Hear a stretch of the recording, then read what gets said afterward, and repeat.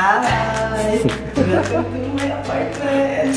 So, ito yung ating main door. And ito yung kanyang bedroom. Tada!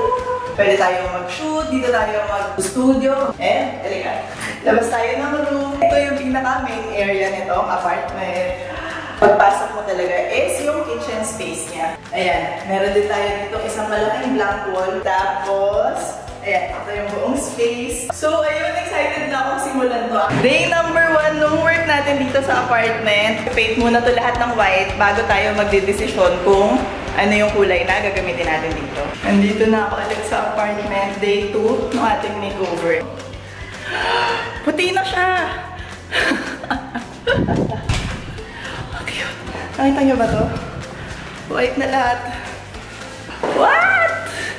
All white na ngayon yung apartment. Kailangan ko nang mamili ng color. Ang goal natin ngayon is ma-finalize lahat ng kulay ng space kasi yun yung malaki at majority ng changes na mangyayari doon. Kaya excited ako para doon. So thank you so much to Davis for partnering with me for this video. Actually, nung nag-reach out sila, sabi nila gusto nila nga makipag-collab. Parang okay, alam ko na for sure ang perfect para dito sa collab na to. And ito na nga yun dahil...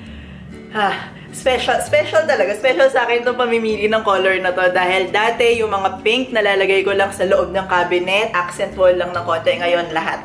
Mag-all out tayo ngayon. So, ito, mamili na tayo ng colors. Ha, ang dami. And kung gusto nyo rin ng sampler size from them, meron silang ilan options. So, yung mga ready-made ng colors nila ni BioFresh, tapos ni Mega Krill, Sun and Rain, tsaka Aqua Gloss It. Meron silang mga sampler size nun. Check out nyo. So, normally ako, pag namimili ako ng color, tinitignan ko lang naman sila dito. Ganito siya. Nagkataon kasi, sanay na ako mamili ng color from here. So, medyo may idea na ako. Pero kunwari, nahirapan ko yung pumili, ganyan. Paano ba? Paano ko nyo ba i-imaginein yung mga colors na yan? Pwede kayong mag-download. Meron si Davis na app na Color Studio. Ito siya. Ayan. So, meron na ako sample project dito. Papakita ko sa inyo ah. Pwede kayong mag-upload ng photo. Actually, navy blue nga to originally. Tapos ngayon, tignan nyo. Naging gray na siya. Tapos, pwede akong mamili dito sa mga colors. Ito yung mga colors na meron sa swatches nila. Kunwari, gusto ko nitong maroon. Ayan, terracotta. Kunwari, pink. Tapos, green. Talagang iba-iba, no? Pakita ko lang sa inyo paano siya gumagana. Ayan. So, kunwari, ayan, gray siya ngayon. Na ano ko na to, nakulayan ko na siya kaya ano. Pero pwede kayong Ayan, di ba nakikita niyo naglilipat siya. Ayan yung itsura niya pag green. Ito naman pag peach. ang cute. Pag blue naman, ah, ang cute din. Ayan, dun sa may colors, pili kayo dito. Kunwari, Biofresh Plus, tingin tayo dyan.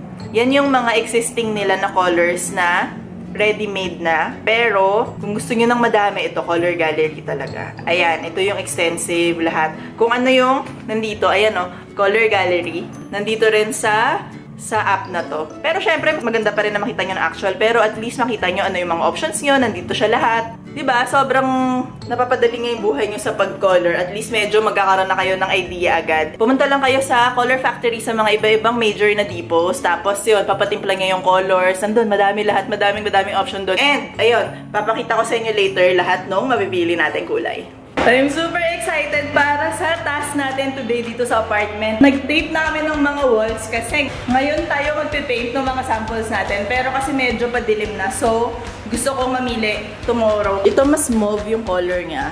Ito mas peach. Pareho siyang maganda. Ano na? Ito sa foyer. Tignan nyo. Tignan nyo dito sa entrance. Diyan, dito mga green tayo. Iba-ibang shade ng green. Yes. Satisfying magtanggal ng tape, no?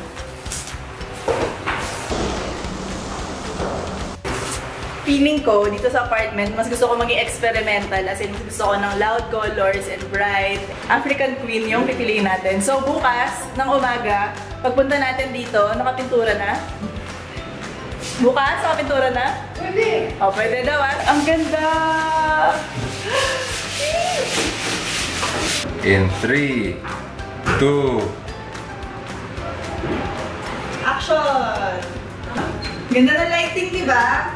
Ganda mag-shoot dito. Dito ka sa window. Tapos ito lalagay yung desk, yung work area. Tapos meron dun, wag mo na papakita, pero meron dun view ng mga kalapate.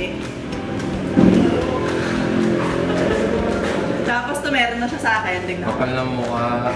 Actually, damit ko yan eh. Oo nga. Nakikita niyo sa ibang video kung suot ko to. Damit ko to eh. Hindi, ka damit mo.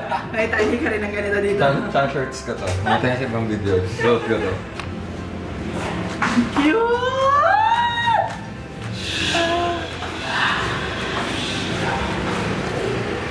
Pili na tayo ng color para dito sa office. Yung buong wall, buong ceiling is actually parang almost white lang. So, dito tayo mamimili.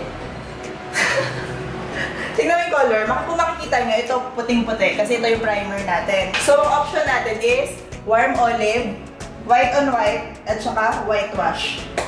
Tingin nyo. Tingin mo, anong sagata? White olive. Warm olive to. Wala namang white olive eh. Actually, iniisip ko. Halatang hindi nakikinig. Tapos actually, para makapag-decide tayo, ito dahil itong buong wall na to, magkakaroon to ng door. Tapos lahat ng door, merong molding, which is, nandito yung molding. Yan, may mga design ng ganyan. And ang color na pinapipiliin natin is, dan dan dan dan, Ridge View. Nakasulat dito sa gilid eh. Bryce Canyon, Torrance, Tor ay Terrace. Terrace siya, hindi siya Torrance. At saka, Mukasin Bay. Tingin nyo, actually, pinag-isipan ko, gusto ko paghaluhaluin na lang itong kulay na to dahil parang lahat sila maganda. So may chance, tignan natin, baka haluin na naman. Pero, any color dito, sa sinabi ko, ganda. Hmm. Halika, dili dito tayo.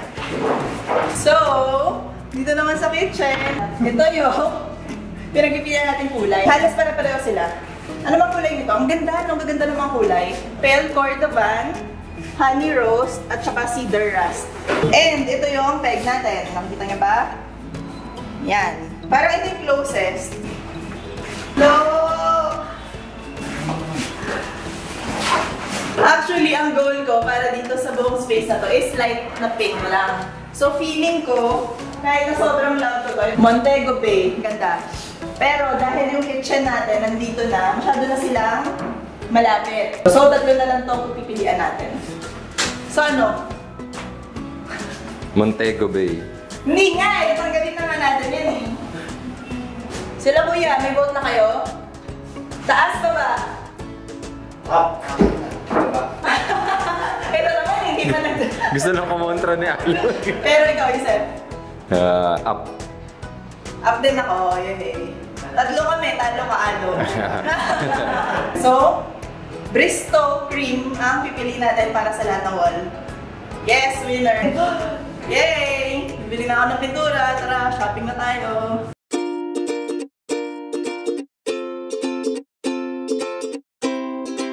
Bibili na natin yung napili nating kulay which is yung whitewash na 2915p at saka Bristol Cream 2842p. So, yun, excited na ako. Ito na yung color natin. Ayan. Ang cute niya. Nabawasan na kasi na-paint na yung ibang part. Pero ngayon, pipaint na natin tong wall na to.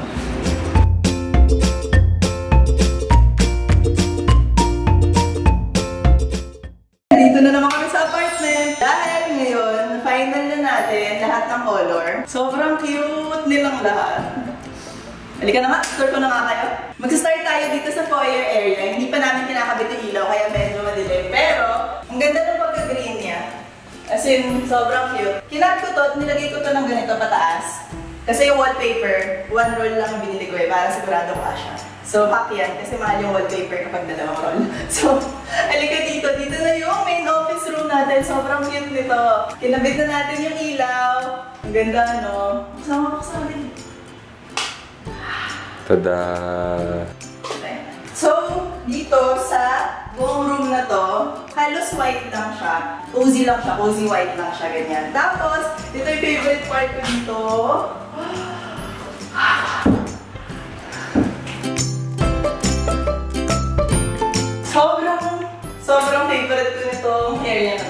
Diba yung kanina namili tayo ng color. And ang ginawa natin is, tinumbay natin silang lahat. So, ito yung kinalabasan niya. Sobrang cute niya. Pero kung gusto niyo ng malapit na color, parang kung ang gusto niyo is mas dark na konti or mas pinkish ng konti, dun kayo sa terrace. Pero, kapag ka mas light naman is ridge view yan.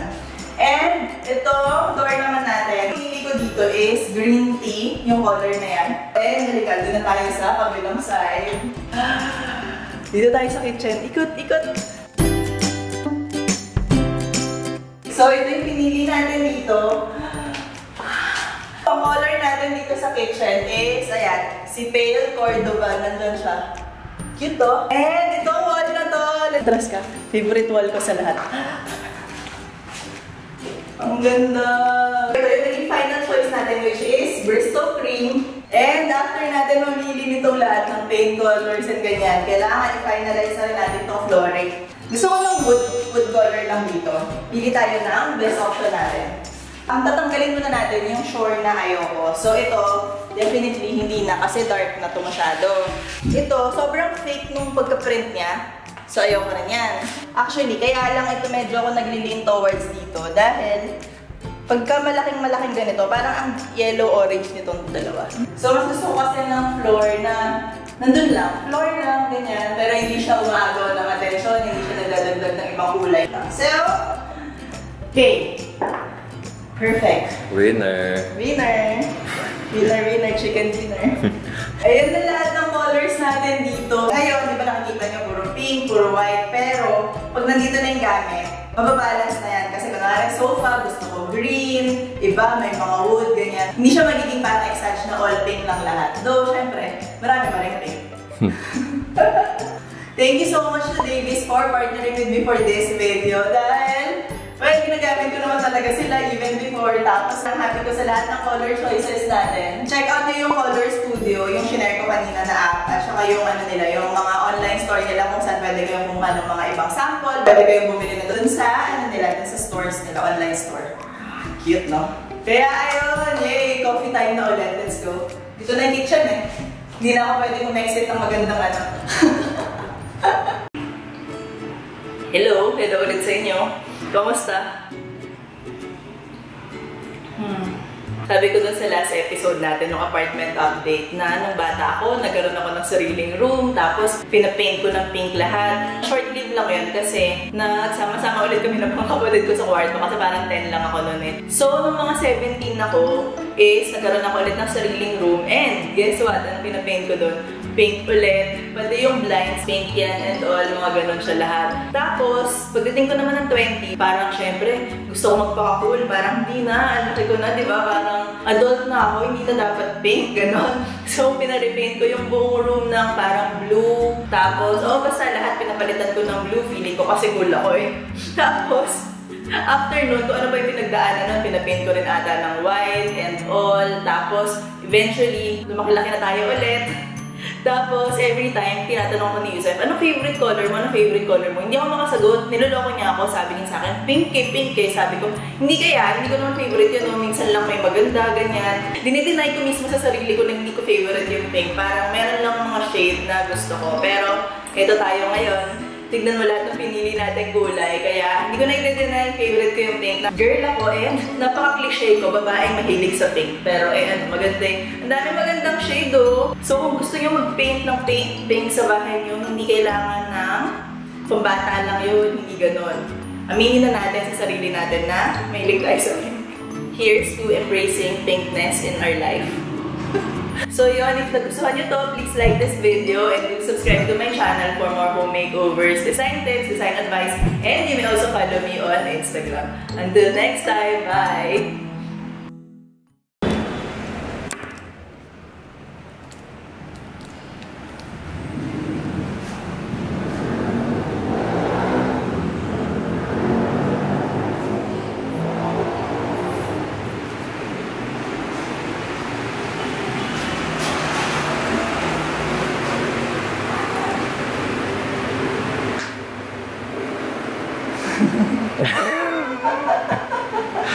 Gulo naman eh. Housewarming gift. Ang galing to. Nung Halloween pa yan sa bag ko. yan yung napanalunan mo sa... Grabe. yan yung napanalunan mo sa bingo. Hindi ba tanong na to? Ewan ko. Hindi pa, na, Thanks. hindi pa naman nilalanggam yung bag Yes, ko. may dessert. Tapos bili ka na ulit ng barbecue. Ayoko. Bakit? Pagod na ako. Ang Init. Kain tayo. Bili. Gulo. Kala mo wala akong housewarming gift.